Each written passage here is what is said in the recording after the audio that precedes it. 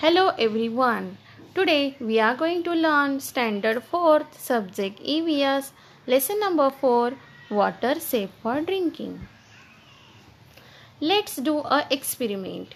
You can do this experiment at home. Take a glass half full of water. Add a spoonful sugar to it and stir it with a spoon. See what change takes place. Sugar is completely dissolved in water and its taste is sweet. Repeat this experiment with each of the substances mentioned below. Wash the glass clean every time. You take the next substance. Common salt, honey, washing soda, powdered alum, sand, wheat flour, sawdust, turmeric powder and some oil. What do you see? Sugar, salt, washing soda, alum powder disappeared in the water. They dissolved completely in the water. But sand, sawdust, turmeric powder, oil do not disappear even on stirring. They do not dissolve. What does this tell us?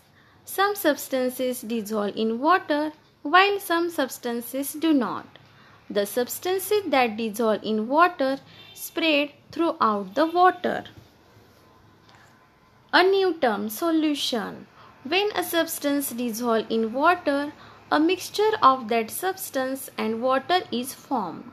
This mixture is called the solution of that substance.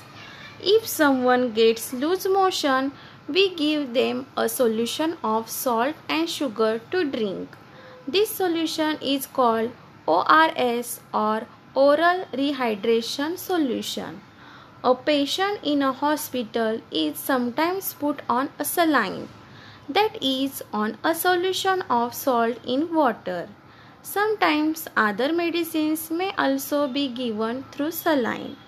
These are the examples of solution useful solution that is ORS is a useful solution.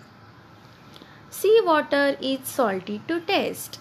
Water of different wells may have different taste. When we remove the lid of soda water bottle, bubbles fizz out of it. To make soda water, a gas called carbon dioxide is dissolved in water under pressure. When the lid is removed, the pressure reduces and the gas bubbles out. That means when we remove the lid of soda water, bubbles fizz out of it. Let's do this experiment. You can do this experiment at home. Fill a large container with water. Collect the following articles. From your compass box, a plastic ruler, an eraser, a pencil, a sharpener, a rubber band, a, the compass. From your house, you can collect a steel spoon, a plastic spoon, some groundnut shells and iron nails, a screw, a coin. From outdoors, stones, little twigs, leaves, soil. Put these things in the water and see whether each of them sink or float.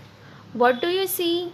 The eraser, sharpener, steel, spoon, nail, screw, stones, coin, the compass and the soil sink in the water while the other things float. That means a, pla- a plastic ruler, pencil, rubber float on a water. What does this tell us? Some things float on water while some things sink in it. The things that float are lighter than water. The things that sink are heavier than water. So students, what we have learned? Some substances dissolve in water. Some substances do not. Some things float on water. Some sink and settle at the bottom. Water is a good solvent. ORS is useful solution. The things that float are lighter than water and the things that sink are heavier than water. Thank you.